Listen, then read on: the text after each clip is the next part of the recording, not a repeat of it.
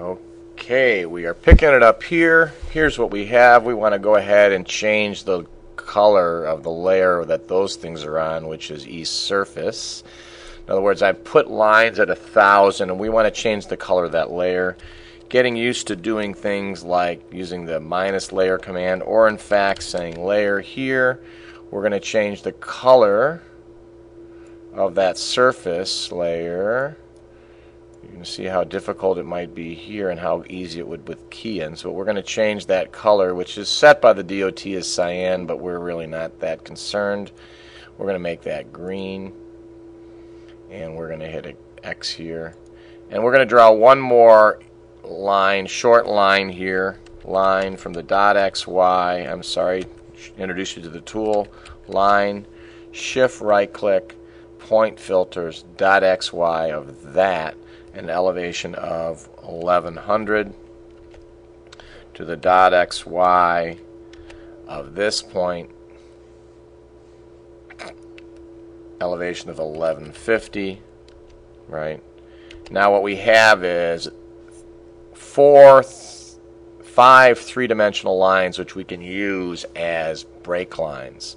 I'm not going to go through and do the points how you would go about doing the points would be to go through and make points, make point groups, etc., etc. We'll be concentrating on learning how to pull in uh, data shortcuts once we get that figured out on the network uh, to bring in our uh, tins or surfaces, as the case would be. So we've got kind of what we would call an existing surface here now. You've started, you've started your drawing correctly. Now you're going to go down to basically kind of tough to remember you have to actually go to make a surface before you can actually define a surface. So we're going to right click here, we're going to create a surface, we're going to get the habit of actually EXTOPO, I'm sorry, putting bogus, B-O-G-U-S dash, and I'll put EXTOPO. Extopo is one of the names that the DOT tends to use for the existing topography. So we're going to hit OK. We've got a surface defined, and now we need to, I'm sorry, the first surface created, now we need to define it. We're going to define it, you remember, by having for sure some sort of information, perhaps some boundary information, some break lines, some perhaps drawing objects, etc., etc uh, very often point files and point groups. But in this case, we're going to just go ahead and we'll try the drawing objects one. Let's try some drawing objects. Right click, add. We're going to add lines, sure. Bogus, 10. All kinds of different ways to make a tin. We're now going to select our objects. One, two, three, four, five, and we're going to remember, of course, not to grab these lines which were part of the cadastral map down at zero elevation. Hit a return there.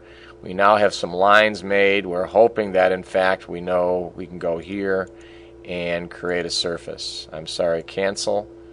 Uh, we're hoping that when we go ahead and make those lines, it in fact right, created things, and it doesn't look like it necessarily did. So we're going to see now whether our, right, if we click on that, you notice here when I click on it, it actually did make the surface. That's our check. We select what we have here, and it changes the toolbar across here. Now to make sure that things work correctly, there'll be lots of different ways, but we're going to learn to go here and surface properties, surface properties and change just the style if you would. We're going to change the style to be contours. And there you see it. Kind of an odd looking tin, but it's a tin nonetheless. You want to finally remember that you do not want to have that kind of information out on your screen on a regular basis. So you go back here, change your surface properties to no display or to just boundary, but I'm going to turn on no display. Hit apply, okay. Now we have our tin there. Realistically, soon you really don't want these EXTOPO lines around. You've got the cadastral map around, so we can go now, remember to go to layer. And this is the point where you're going to start to have to put together some of your AutoCAD skills that you may or may not have acquired. And I like to use not necessarily filters, but property layer manager. So I'm going to go ahead and make a, a layer manager. You see they've got a couple already made, but I'm going to make a new one and I'm going to give it September 24th, give it a name. You're going to see all kinds of different settings for this, but I'm just going to hit close here. I set that up.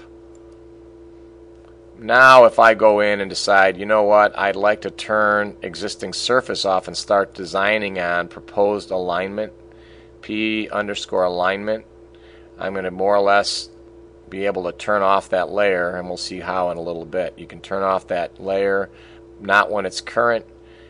We can go to, uh, we hope, alignment there, P alignment, maybe your base alignment, set that as your current layer, click off. And now you can do things like selecting layer off, layer freeze, or minus layer, freeze, and you could, in this case, do E star. It's going to turn everything off, and which we don't want, minus layer, thaw, E dash, or D underscore, map, star, and I've got that general frame around what I have. There'll usually be more than that, but learning to use layer styles, layer manager, maybe this is something, knowing that you're on this current layer, if you draft a line now, line from here to here, it should go on the layer I'm listing, LIST or LILA for last, it lists it on proposed alignment, the base alignment. So you start using layers. You might want to remember this layer state. So you might say up at the layer manager, you might want to go back to LA for layer or layer manager and make a new layer state and call this one new design dash alignment. So using layer states is going to be a huge skill as you get into more complex uh, environments. And you'll roll this all of a sudden clicking in the habit, we're going to start clicking things off until we know what they are, but we're going to sit close. Current layer save. I'm going to save this now. We save that layer state, sure. Close. We now are kind of where we want to be. We have a tin, even though it's not on, we know what's underneath. We're going to now just basically, I'll draft a line using some sort of basic skills. I'm going to go a line from here perpendicular to that line. Remember that being at zero elevation. I'm going to offset T for through from here through the midpoint.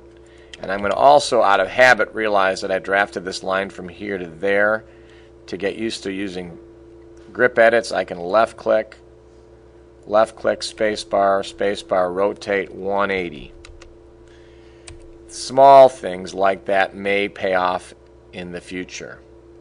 I'll go ahead and go ahead and just take my road and connect it up to the other midpoint. So I'm going to go a line from the mid of here, right? And now I can go to the mid of that and hopefully they're correct, right? I can now say fillet radius 0 or fillet radius 300 or fillet radius 500 click here and here and I have put together now essentially an alignment that if I edit going this way it will start going this way and if I edit that way it will start going that way. So now you're going to go to p edit Select your polyline. Yes, J for join. Select, select, select. You now have a polyline that goes in that direction. Running out of time, the next thing you're going to do is to make an alignment.